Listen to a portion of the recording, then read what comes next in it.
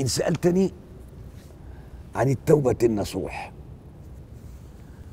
فأقول لك النصوح مأخوذة من النصح والنصح له اشتقاقان في اللغة.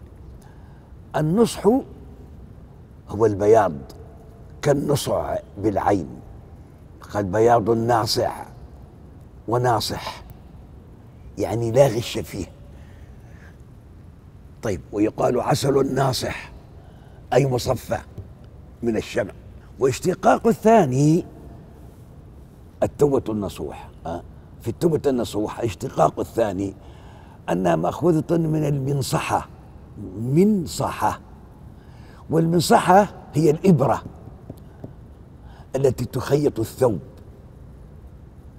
وبعض العرب كانوا يسمي الخياط نص ناصحا. أو نصاحا فكأن التوبة ترقع الذنب وتخفيه.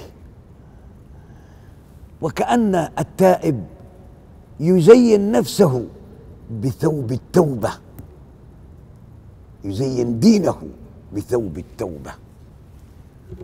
فافهم الاشتقاق وأقبل على التوبة.